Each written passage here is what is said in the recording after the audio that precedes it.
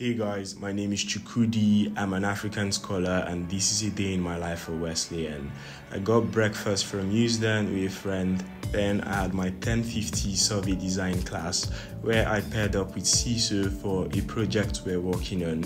After class, I went back to my dorm room and prepared to work out at the Freeman Athletic Center.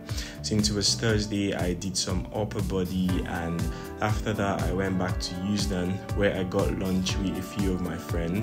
Then I had the comp lab and met with Yinka on the way to class that's me in class and that's my seatmate Nolan.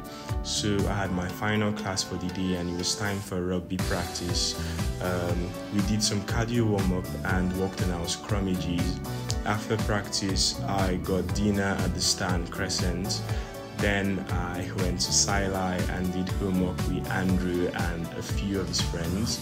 It was finally time to sleep.